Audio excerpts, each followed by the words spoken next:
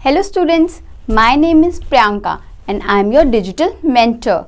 So today I am here to start with the chapter 8 that is the temperate grasslands, prairies in North America. So let's kick start. Farming involves the following activities. Find out, find out what they mean. Then number them in the correct order. The temperate zone lies between 23 and half degree and 66 and half degree latitudes in both the hemispheres.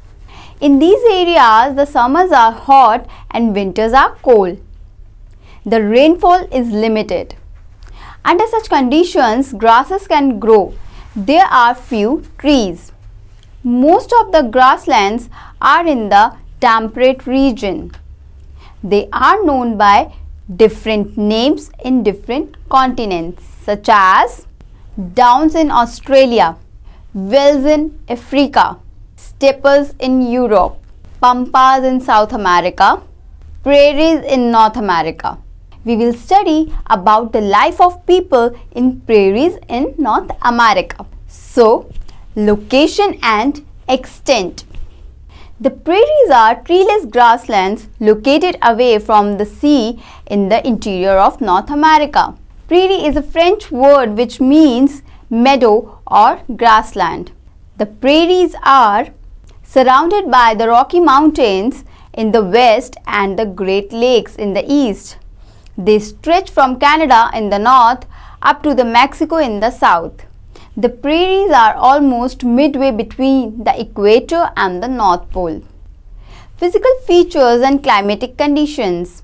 The prairies are a vast stretch of gently sloping low down in the interior of North America. This area was once covered with thick and tall grasses. It was a grazing ground for millions of bisons. The Mississippi and Missouri River along with their tributaries flow through the prairies. The average climate is hot in the summer season and very cold in the winter season. The annual rainfall is about 50 centimeter which is mostly during summer season. The climate is not influenced by the sea. The northern part remains under snow during the winter season. The amount of rainfall varies greatly from year to year. Now children, see the map. Prairies in North America. So, it's time to move to the vegetation and wildlife of these prairies. There are no trees except along the banks of rivers. The tall grasses may grow up to a height of about 8 meters.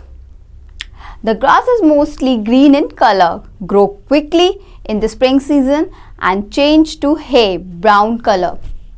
During the winter season, the main types of trees along the river banks are willow, poplar and elder.